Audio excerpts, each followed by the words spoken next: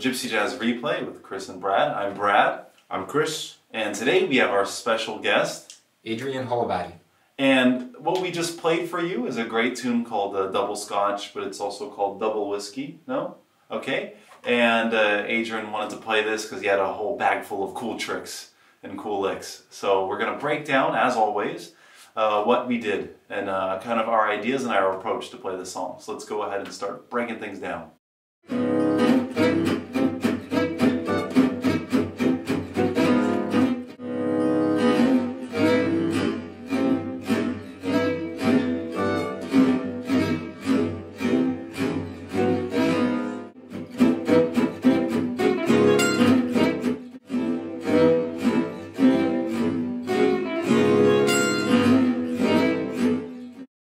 So what the heck was that that you were doing on the head? Uh, I like to put in because it's kind of a wacky song. I like to put in little musical musical funniness. So I think I did two things there. Uh, on the C major, I did a quick, which is a D major triad and a really high. Uh, and the key is not just the harmonic, interesting stuff, but the like the a jab, like. Yeah. I'm walking down the street, I'll punch you in the face, and I'll keep walking, you know. It's kind of Yeah, that yeah, yeah. humor. And, And then- and you're not necessarily thinking of a crazy harmony, you're just thinking, ah, this is how it sounds really out there, and boom. It's more the rhythmic, yeah. Yeah, yeah. I mean, it is kind of, it is a cool, uh, over C, you do this, it's a kind of a cool sound, but more the priority is the rhythm. It's it's ear catching. Yeah. people think, oh, I know this song. It What? wakes up people in the audience, man, like they're nodding off, oh, they're playing double scotch. Does that, oh! Yeah. You know. does that happen a lot to you? Not anymore! Not anymore, man! he solved it. yeah, yeah, yeah. Like throwing all these little bah in all the songs, dude. And then the other, the other one was uh, a uh, just arpeggio in C sharp. I like on this one because it goes C, then C sharp. Uh, In the rhythm, yeah. You, I like to emphasize that the chord changed as opposed to just staying on the C.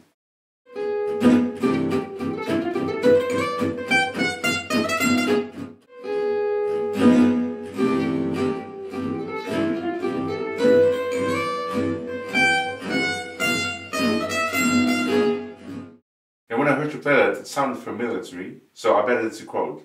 It was a quote. It comes from Nuages. Uh, Ending of, of the the ending of yeah. Nuages. I think maybe you did it a couple of times, a couple of recordings. Yeah. So was that, did you plan to play a quote or does, do they just come out? Because I know that you know lots of quotes. They just come out. I wish I planned better. It would sound better if it was you, planned. you, you wish, you wish you can control it, but it just comes out just of you. like I'm playing, and then someone play a quote. yeah. But I, I was wondering, because what is that thing? Because I know you love quotes. You even teach a workshop during Django in June with like the best quotes. Yeah. So you have a, you must have a large collection of them. So like, do you search for them or? Uh, no, they just come out. You know, uh, Just come to me. they just come to me from listening to a lot of music, and uh, yeah, I don't practice them. Okay. They just come out. It's just something when you hear music over and over again, it subconsciously gets into your uh, Exactly. brain or something. Okay. So I, I thought maybe you worked them out. Like okay, I can use them in this song, this but no. No, some uh, like long ones that go over entire chord progressions. Yeah, I would Okay. work it out. Yeah. Um, But for shorter ones, you're saying it's more of like an inception approach, Inception. where they get inside of you and they control you. Yeah, for something that's only like a couple beats or a couple, uh, one bar. I think that's al- another ear catching like trick or Yeah, absolutely. yeah, nice. One thing I do a lot, I realize as I look at this video, is end a phrase in the middle of the bar, like either just after the one or the end of one. And I like that. And then often, like, I get caught up in it and I actually like, like jump up as I hit that last note, sort of emphasize that I'm not going to play anymore for the rest of the bar. Yeah. And I like that because it keeps people on their toes and it's it's rhythmically interesting. It's not just daga daga daga daga daga daga daga daga. hmm Yeah, you you even do it in the solo break. I, I, I liked it. I liked it particularly in the solo break because normally people would fill up all the space in the solo break, hmm and then this trend came of playing nothing in the solo break. Yeah. So this would be like a happy medium. Yeah. and, and it's nice because there's like a, it creates a lot of tension, and then when you fix it, it's very relaxing. You know, It's tough to pull off because you need to play with people who have good senses of time. Just throw them So off. uh, yeah. yeah, if if you just do nothing for the break, and everyone comes in at a different time, it just turns into a fiasco. And do you have a thought of what the note should be that you end on? Because I noticed like for the solo break it was a flat nine. It's not like a regular note. Yeah, I like to end on the funny ones. Uh, I try to be deliberate on that. I try to be either do a funny one or do a really straight one and, and know know how each of those sounds in my head before I do it to get the mood that I want to get. Yeah, that's great.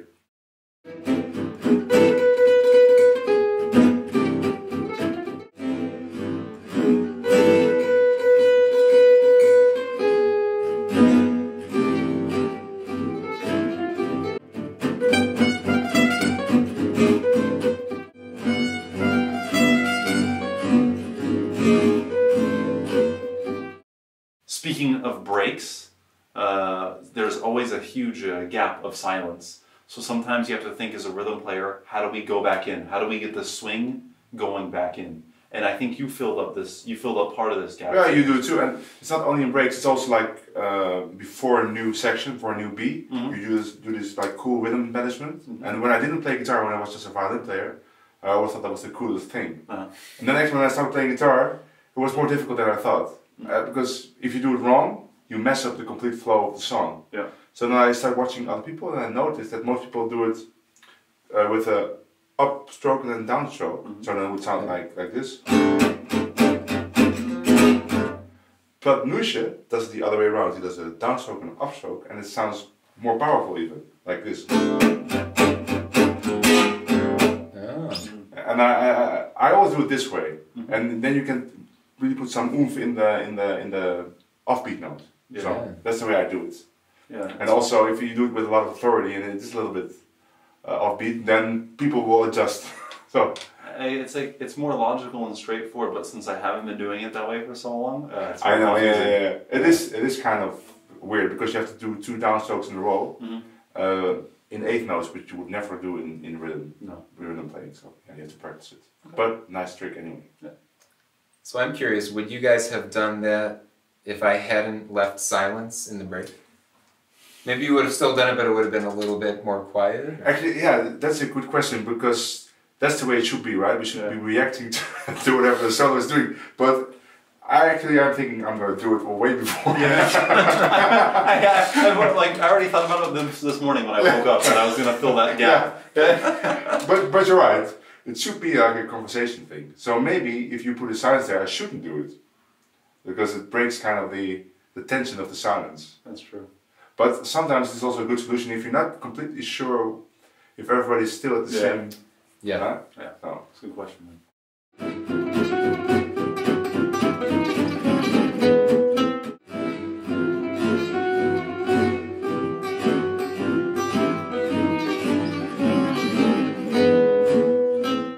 So later in your solo, you uh, you do this little cool unison uh, lick. Uh, it's kind of like a pedal point, like almost like a classical thing. What's what's going on there? It's just uh, picking, doing a unison note Uh, on two different strings and then changing one of them but leaving the other one the same. okay. ah, yeah. And then you, yeah, you switch from the first finger to the fourth finger so you can do it below the note too. Yeah, I don't know if I did that at this time, but you can, yeah. Yeah, yeah. What I, what I like about it is, uh, I mean, playing chromatic phrases is, is is a thing, right? You can do it, Yeah. but it's, the danger is that it sounds like a chromatic skill.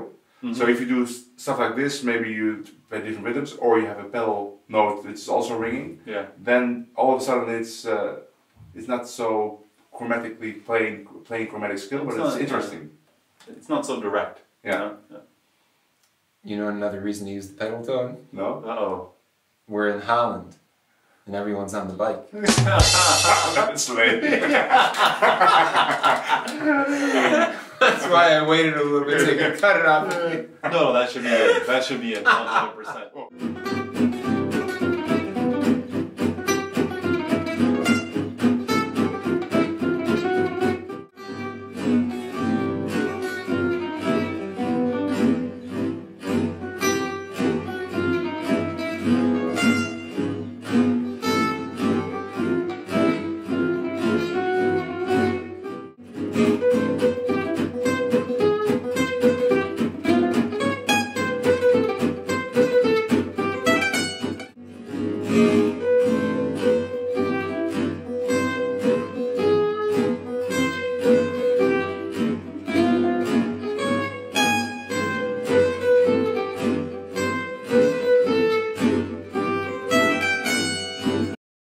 Thing I really noticed in your solo, the whole solo, is that you use a lot of motifs, like little phrases that you uh, change a little bit, but there's like a general line, and it's a very uh, melodic way of improvising, getting away from like stock licks, but using your own creativity to build a whole solo. So, what's your thoughts on that? Yeah, that that's one of my very favorite things about Django is that you can hear his solo and it's uh, it's so melodic that you can turn off the recording and hum it because it's Yeah. so distinctive, and it, it's also uh, I think easier to do that than to make some some lick play some lick because it doesn't have to be as fast. I can't play fast at all, so I I rely on my crutch, which is making hopefully interesting melody. You, you rely on your crutch of being musical. what a crutch. So, But- so if the tempo is really fast, what do you do then? Uh, Like it's a really. I, I put my guitar down and go to the bathroom. He puts his guitar down and he I- scats like I, no, because if you play fast, then but the motives then have, have, have to be fast as well. yeah, well, or I can just make them like half notes instead Yeah, of eight okay, notes. Yeah, you can play around fine. But for me, the more uh, I find that approach more difficult because um, you have to find a good motive to start with.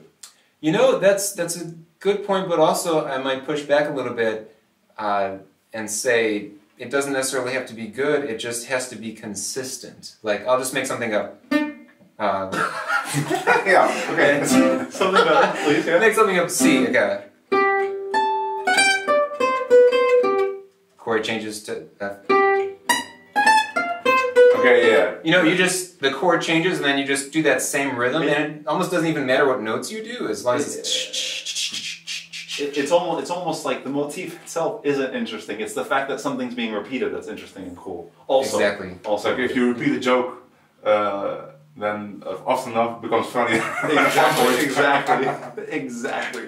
I th- also think that if you make something musical, like like a call and response, I think a lot about call and response. Like,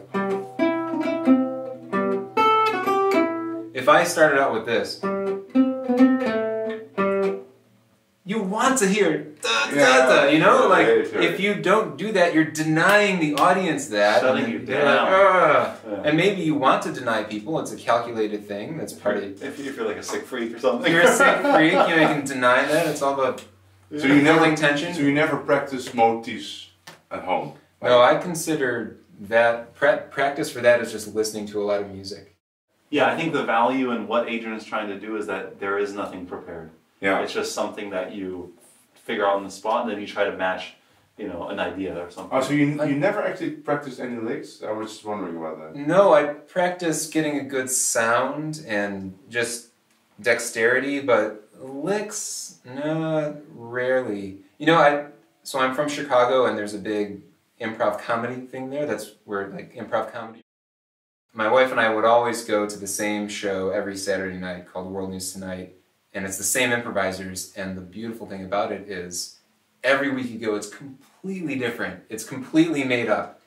And if they were to do the same thing two weeks in a row, it would just kind of be, it would lose its magic. Like if they were to use the same pieces but use them in a different order, it would still lose its magic. yeah, and pieces or demeanors or jokes. You know, part of the incredible thing about watching improv comedy is you know that they're making it up on the spot. And that's what really makes it funny and special. So when I play improvised mu- music, I try to reach that. I don't reach it, but I attempt to get to that same. So that's the Thing. inspiration maybe for this approach. Definitely, yeah. Okay, interesting. No, but the fun, the, the funny thing is, or the, the interesting thing is that there are many approaches to uh, Yeah. learn how to improvise, and they all they all can work. Right? They can all fail, also of course, Mhm. but they can work and uh, they can work together. And Definitely, yeah. In the end, it's about what actually sounds, and if the sound is good, and if the then it doesn't really matter if you use licks or motifs mm. or some other approach skills. You can say I'm a skill a skill improviser. If you can make it work, that's fine. Yeah. Yeah.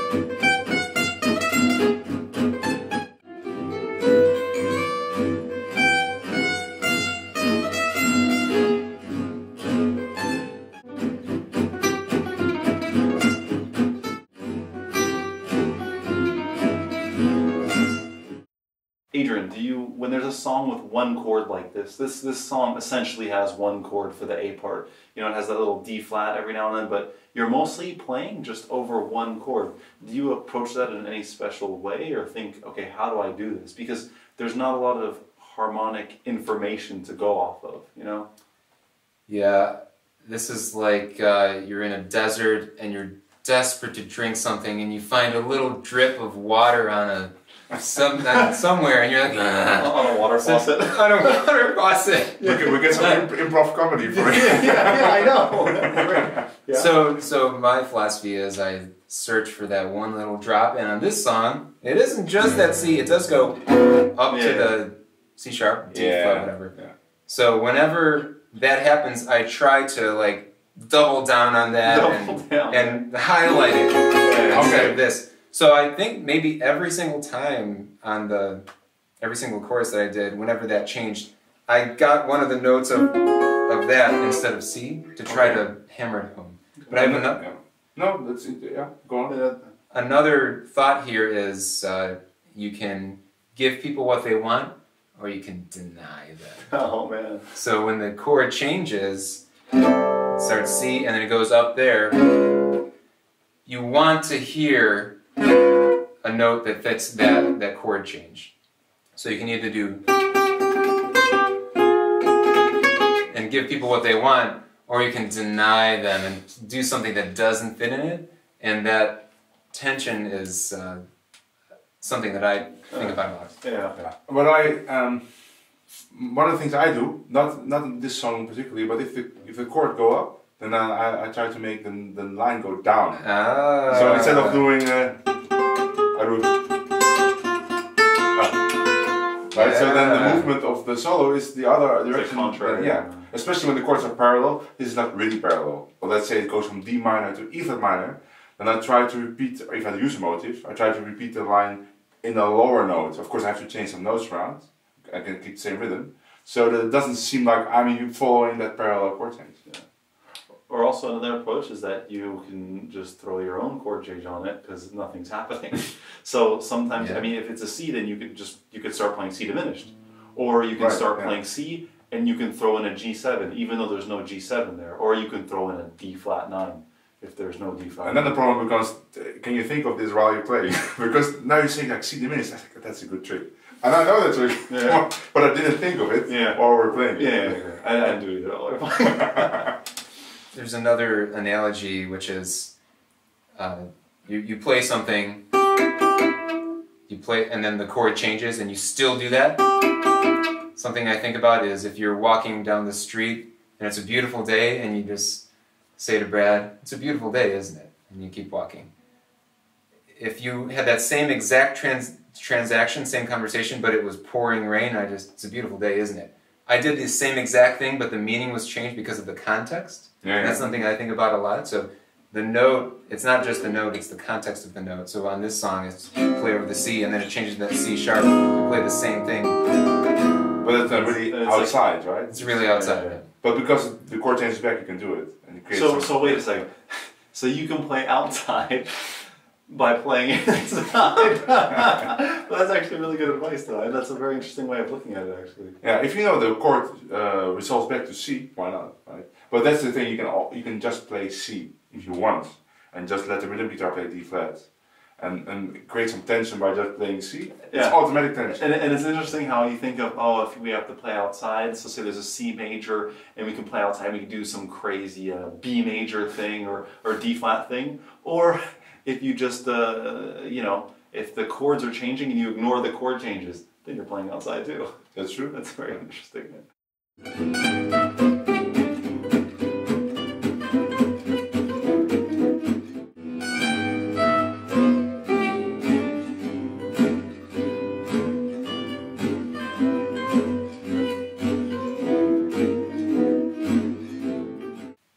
I started my solo and I was uh, highlighting the major seven of the chord, and this gets back into how we're talking about what do we do when there's just one chord sitting there. So sometimes I like to approach it by looking at chord tones and I and, and colors, and I think, okay, well I have this huge part of a huge eight bars of C, So if I play uh, some ideas based around the seventh or the sixth or the ninth, and then you get a really nice color for that whole section.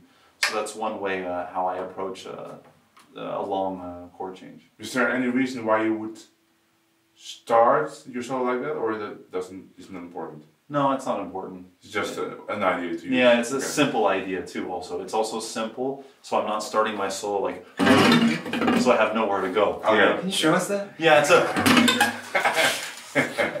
Maybe Dennis can describe it. Oh yeah.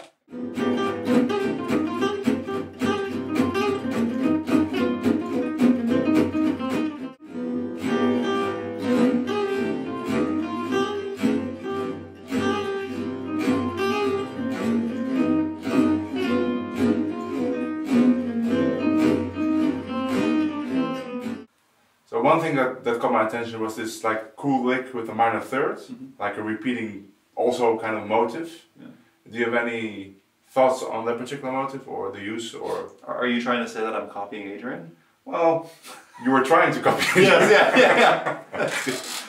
yeah, uh, there I, I, I also like doing the same kind of thing, like uh, taking one idea and then changing it a little bit, and then changing the timing of it. You know, maybe keeping the same motif, but then extending it or shortening it so it doesn't fit anywhere.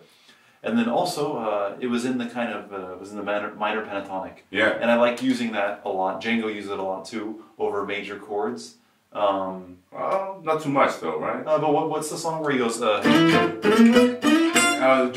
Yeah, so he uses that kind of minor, uh, I don't know, a minor pentatonic, but he uses minor ideas over major chords. Yeah, what I, my view on that is that he does use that, but he I think he stays away from um, the seven, like the, the B flat, because then it gets into this pentatonic minor, really like minor pentatonic. Yeah, well, well, he stays more like around the, mi- the, minor, minor third, third, like, yeah. like you did actually. no, no, yeah, know. Yeah, so that's what I'm trying to say is like uh, the minor pentatonic uh, w- with really hitting the minor third because Yeah. it causes a lot of tension. And, I, And you I- do this for you. yeah, and the slide. Yeah, we, that's nice, but Yeah. oh, I don't think Django would do that. I, I like it though, but Yeah, it's not really I don't think Django. Django would do that.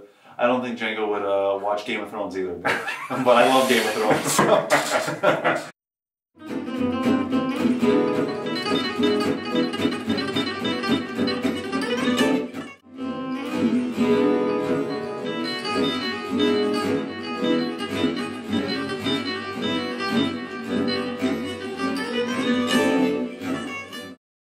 was that like shredding thing that you're doing? Yeah, it's something I uh, well actually again I don't I'm not sure if it's a Django lick. I'm just gonna assume it is, but I've heard people play it, and whenever I'm not sure it's a Django lick, it's always a Django lick. So I've heard it on Sweet Georgia Brown a lot because uh, it matches the E7 perfectly, and then when it goes to A7. Yeah, you know? yeah. So those changes in Sweet Georgia Brown, they happen in all these rhythm changes uh, songs too, and it's a shreddy, it's a shreddy thing, but it's super easy. It's uh, easy and it's uh, it's very easy to see also, and it uses an open string, which I think is super cool. I'm a huge fan of open strings. Do you Do you alternate pick? Yeah, Oh, Okay. yeah, alternate. alternate. So you're not Yeah. trying to accent the, the E. Ain't nobody got time for that.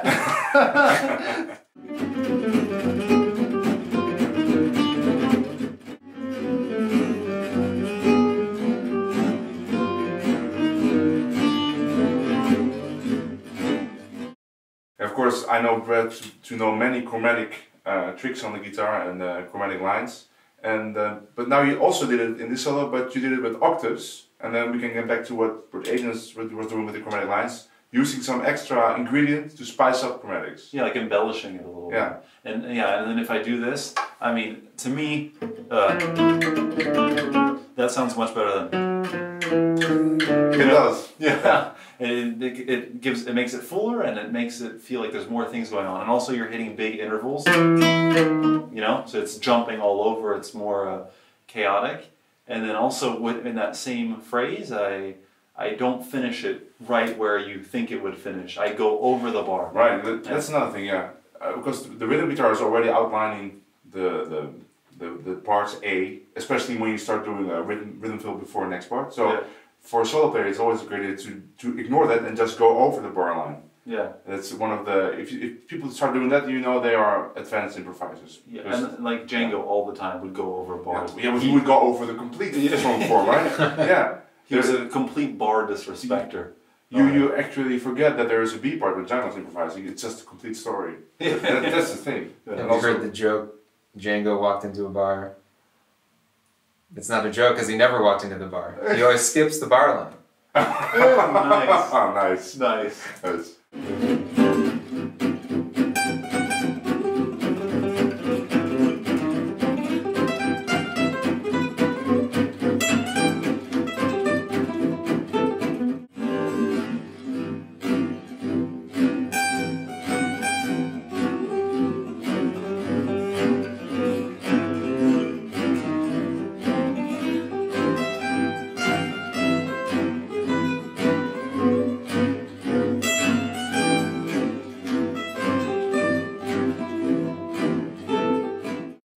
So getting back to uh, soloing over a chord progression that basically has one chord, C. Um, we were talking about different approaches, motifs, um, chromatics. Yeah. So what I did purposely, the first A, I just used notes from the C major triad and played uh, played some licks that use those. Okay, I'm a lick player. We all know that I play licks. My name is Christian. Yeah. I'm a lick player. Hello, Hi, Christian. So, but then I know some some really cool licks that use make use of the uh, C triad, and um, when I teach uh, at the conservatory students, I call those one three five licks. So they, they use the, the, the root, the, the, the third and the fifth, and then you can like embellish every note, or you can play approach notes towards. Uh, and I think I, I do both of those things in the first A, and then the second A I start hitting some other other chords. nice to meet you, Christian.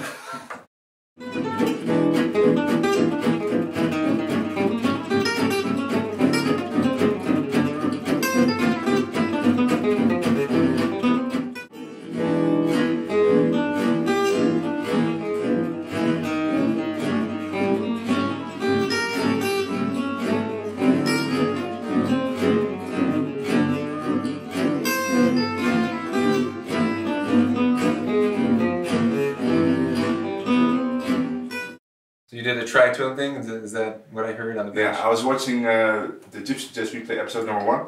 ah, you have good taste. Yeah. and I saw this cool thing that John was doing with the tritone uh, substitutes. And actually, I, I knew this trick, but I I wasn't using it that much. But then uh, the a bridge of uh, rhythm changes. This is a bridge, rhythm change bridge with like E7, A7, the dominant chain again. Then I thought, yeah, let's let's do it. So I started playing uh, B flat seven on E7, and then of course I went to A, and then I played A flat seven on D7. So I used two tritones and one regular chord. Okay. And I, I think I ended the bridge, or I'm, I'm pretty sure I ended the bridge with this uh, phrase that I also uh, use in the intro uh, music of uh, this right. one again. In, in the in the intro music, it's in D. I like, Uh, and let's uh, give a quick thanks to John, John Weisdijk for the Yeah. the tritone lick. and and to Moses for this. Moses for this lick.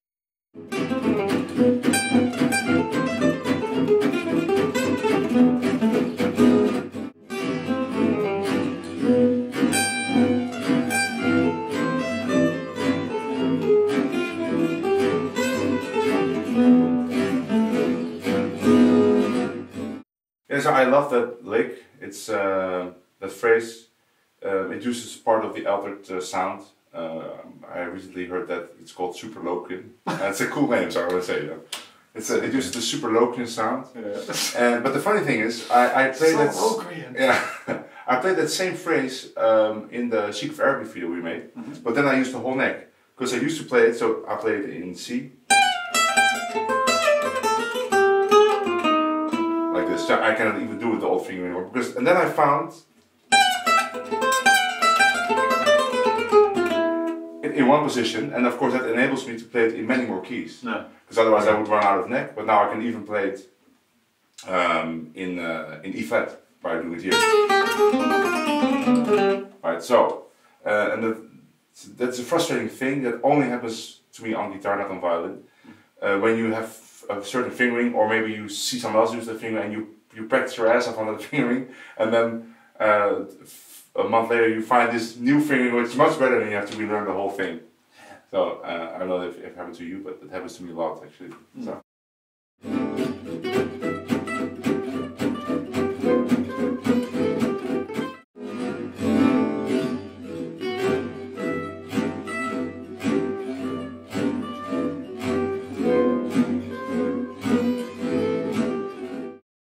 While I was setting up uh, all the gear, All the heavy gear. I heard uh, Adrian teaching you a song, and I think what you played there was directly from that song. Yeah, Adrian was uh, showing me Young at Heart. You know? Fairy tales can come true. It can happen to you if you quote that song. yeah, so he was showing me this tune, and I just wanted to use it immediately before I forgot it. It's such a beautiful tune. And it's one of those things that uh, when you learn something, try to use it as much as possible right away. Otherwise, you're going to forget it in an hour. I mean, you're still going to forget it in an hour. Yeah. But maybe an hour and five minutes now. Yeah. So tonight at the gig you're going to play that lick all the time. Absolutely.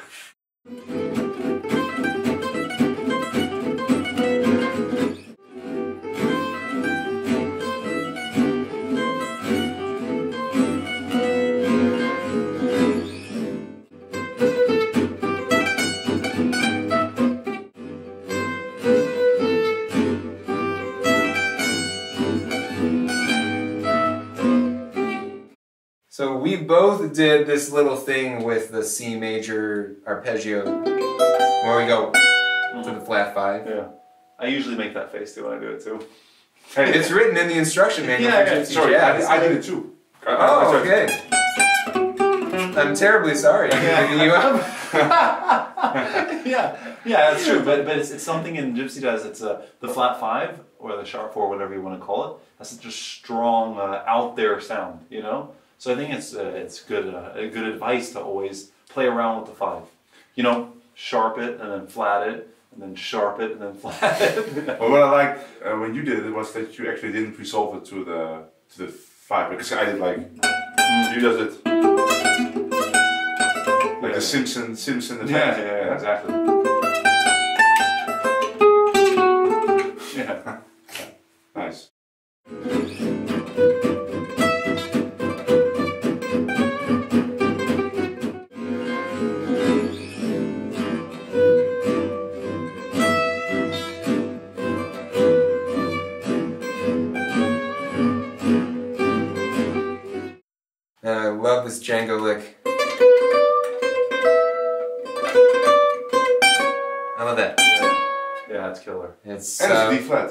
Saying there. Hit the D flat. yeah, yeah, exactly. I don't remember what song it is, and I don't think. Do you guys No. remember? So if any of you out there in internet land know, write a comment and we'll get you Free hug. free hug. Yeah. Free hug, free kisses from Christian.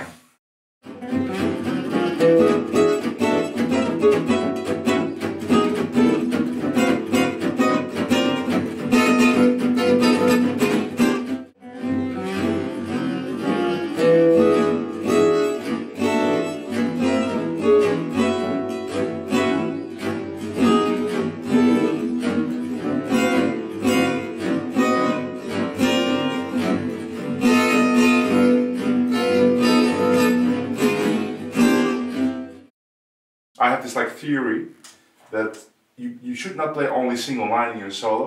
Or you could do it in a solo, but like the whole evening, Yeah. then it gets really boring, especially on guitars where there's not a lot of uh, space to play long notes, right? Like a violin or or a clarinet with all the glissandi. They can do a lot of other stuff.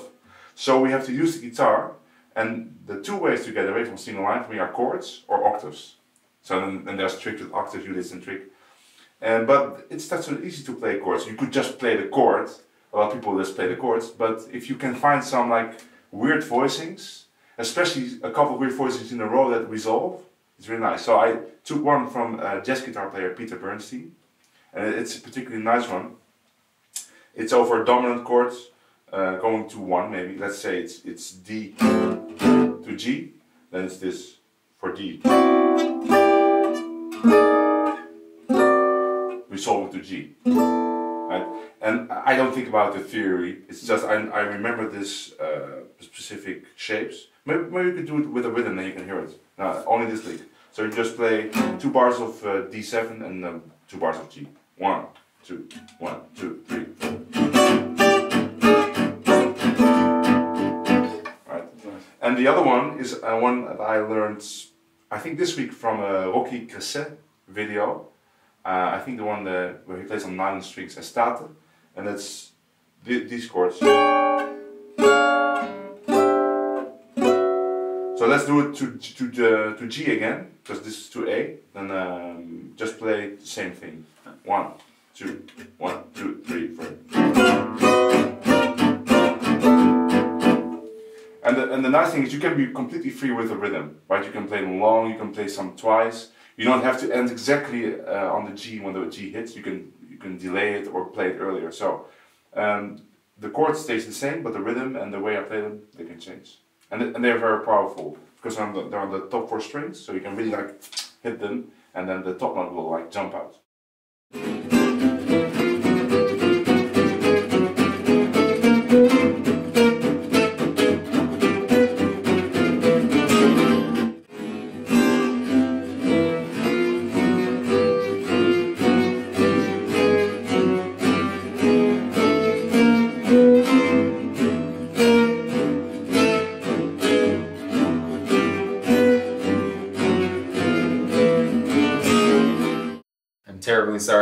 Up here. I made a big boo boo. I was building up some tension with some upward moving octaves, but we had more soloing to go. I, I thought we were going into the head, but Ah. we went to Brad. So, So, so huge disappointment. yeah, yeah, yeah. Huge disappointment. Because it was, it was coming to me and it was getting bigger. I was like, oh, oh, oh. also, you meant to play that to like to build the climax to go to the ending. Yeah. Uh, Which is a good thing to do when you're soloing. It's a good thing to do. This was poorly. but placed. actually, it didn't bother me. Because like, let's say you would you meant to do it somewhere else, but if you would do that, and I would be the next one, and I would try to find something to counter it. keep you know? the energy going. yeah, or, or yeah, or just be very quiet and just find an uh, like an opposite. Mhm. So it didn't bother me. Yeah, but it's a good thing to think of that when you're playing a solo. Is the good takeaway from that is that when you're playing a solo, it's nice to do things that build energy to go somewhere, and to think of uh, you know um, what's the word for that? In, uh, Arc, Yeah, an arc, right? Yeah.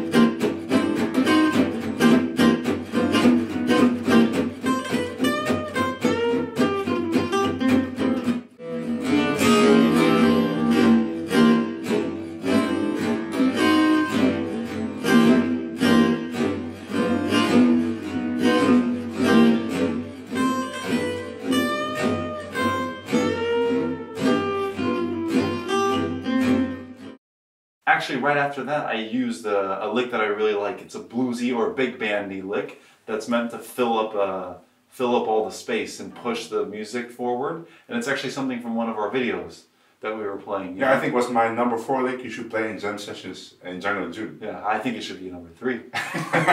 and it is a good response to the excitement that you built with the Mhm. octaves. Yeah, Because I, I think it's something with with with, with space, Mm. but still exciting. Mhm. Because it's like a big band. yeah. And then after that, I used a very nice Django Like It's one of my favorite Django like filled with bends. And I think bends are something that uh, we as guitarists should use more because it's one of the unique things to a guitar that you you know you can, it's such a nice effect to bend up a string that high and Django would really use that all the time as a really guitar effect. We as gypsy jazz guitar players then, because of course in a, like electric guitar they use it all the time. Yeah, yeah, exactly. But it's it's difficult to do on a gypsy guitar because you can only bend up a half step. Huh. So the, the options are limited. Mhm. And it's easy to do on the B string, but on the lower strings it gets Yeah. harder and harder. yeah. Like if you want to learn the theme of uh, I'll See You in My Dreams, Mhm. those bends are pretty hard to Yeah. do. Yeah. Right? But it's it, it makes it more like a, there's a more vocal quality of the That's guitar true. when you're using bends. Yeah, because you can bend it in different speeds or bend it Yeah. back slowly or fast. Mhm. I think we went over all the different aspects of our solos, and uh, I want to thank you, Adrian, for joining us for this episode of Gypsy Jazz Replay. Thanks for having me. Thank you. It's fun. Interesting information, I learned a lot, and um, I hope we have you back for another show, for another maybe one of our other formats, maybe top ten. We can talk about it. Great. Send the check to Brad. Yeah. So uh, thank you everyone for watching, and we'll see you next time. Bye.